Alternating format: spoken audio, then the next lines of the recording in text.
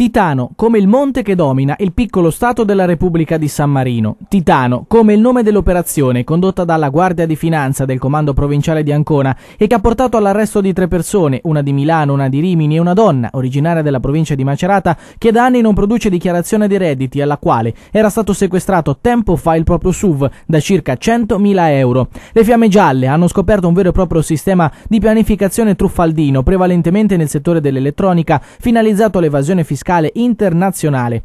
La merce, movimentata per un miliardo e mezzo di euro, veniva ceduta dai produttori a imprese con sede a San Marino, che a loro volta provvedevano a reintrodurli nel circuito commerciale, anche della grande distribuzione, attraverso le società cartiere, 550, quelle interessate. Queste si occupavano di produrre false fatturazioni, abbattere il prezzo imponibile e non pagare l'IVA, evasa per un totale di 560 milioni di euro, il che ha provocato una distorsione del mercato perché la merce viene venduta a prezzi concorrenziali mondiali. L'effetto è duplice.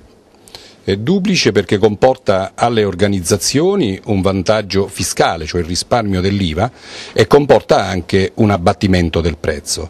L'abbattimento del prezzo eh, consente poi l'immissione sul mercato eh, del prodotto in un regime di concorrenza sleale, quindi chiaramente va a turbare il mercato. Le indagini dei finanzieri hanno rintracciato quattro aziende della provincia di Ancona estero vestite, che cioè avevano allocato la propria sede in uno dei tanti paradisi fiscali, in particolare Lussemburgo, San Marino e Gran Bretagna.